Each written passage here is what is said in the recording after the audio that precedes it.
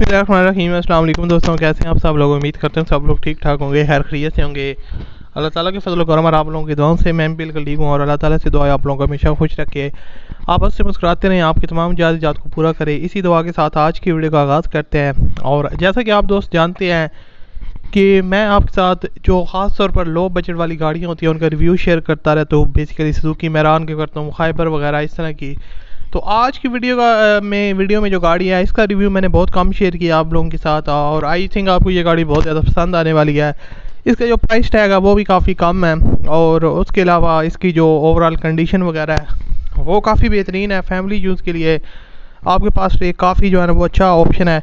तो इसकी जो मुकम्मल डिटेल है, वो आज की वीडियो में आपके साथ शेयर करूँगा, किस तरह आप इसके ऑनर के साथ रबता कर सकते हैं। बाकी जो गाड़ी की ओवरऑल कंडीशन कैसी है और किस तरह आप इसके ऑनर से रबता कर सकते हैं, इसकी जो डिमांड कितनी है, और फाइनली ये आपको कितने तक मिल जाएगी।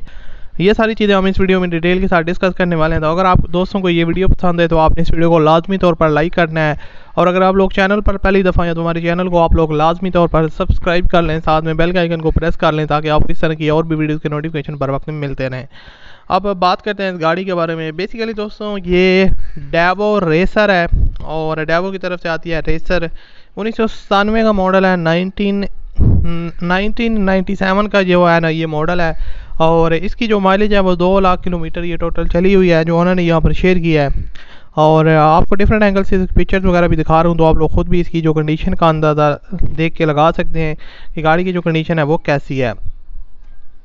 उसके अलावा अगर बात की जाए इसकी और फ्यूल कंजप्शन की तो सी एन जी पे ऑनर इसको जो है ना वो यूज़ कर रहे हैं और आउटर साइड जो है ना इसकी टोटल जो है ना वो शावर्ड है और जिसकी वजह से और दोबारा से उन्होंने इसमें काम वगैरह करवाया जिसकी वजह से बॉडी में आपको किसी किस्म का जो वर्क है वो रिक्वायर्ड नहीं है सिंपली आपने इसको बाय करना है और यूज़ करना है। ओवरऑल इसके जो टायर्स और रिम्स की कंडीशन भी काफ़ी बेहतर है। उसके अलावा अगर इसकी बात की जाए जेएलएम के नंबर पर रजिस्टर्ड है और इसकी जो ओरिजिनल नंबर प्लेट्स जो है ना वो भी ओनर के पास अवेलेबल है। आ, बाकी इसमें आपको सीएनजी और पेट्रोल जो है ना वो दोनों का ऑप्शन मिल जाएगा।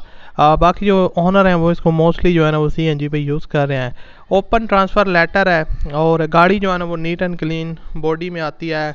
और बॉडी में किसी किस्म का जो वर्क है वो इसमें रिक्वायर्ड नहीं है। सिंपली आपने इसको बाय करना है और यूज़ करना है। बाकी अगर इसकी इंजन वगैरह की बात की जाए तो गाड़ी के जो इंजन है, वो भी पावरफुल इंजन है। गाड़ी की कैपेसिटी के लिहाज से और कीमत के लिहाज से मॉडल के लिहाज से हर एक चीज़ को देखा जाए तो इंजन वाइज जो है ना वो ये काफ़ी अच्छी गाड़ी है और इसकी इंजन में मेंटेनेंस वगैरह होती रही है आपको पता है हर गाड़ी में होती है मेंटेनेंस वगैरह। लेकिन इसमें कोई आपको काम वगैरह रिक्वायर्ड नहीं है या इंजन की सील्स वगैरह में लीकेज वगैरह का इशू या उसके अलावा इंजन में कोई भी जो है ना वो वर्क वगैरह इसमें रिक्वायर्ड नहीं है सिंपली आपने इसको बाय करना है यूज़ करना है। आ, बाकी जो इसकी लोकेशन है वो रावलपिंडी है डेवो रेसर उन्नीस सौ सतानवे का मॉडल है। और डॉक्यूमेंट्स वगैरह भी उन्होंने यहाँ पर शेयर कर दिया है। ओपन ट्रांसफ़र लेटर है और बाकी जो इसकी ओरिजिनल नंबर प्लेट्स वगैरह हैं जे के नंबर पर रजिस्टर्ड है।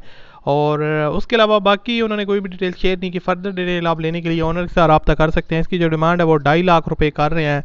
दो लाख पचास हज़ार रुपये और भी कमी बेची करवा सकते हैं। और वीडियो के डिस्क्रिप्शन में कॉन्टैक्ट लिंक है, उस पर क्लिक करें और इनके साथ रब्ता करें।